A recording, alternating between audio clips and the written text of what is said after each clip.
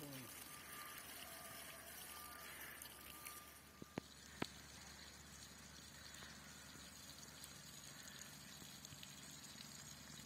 Essa cena Gupitolar do Xuzear.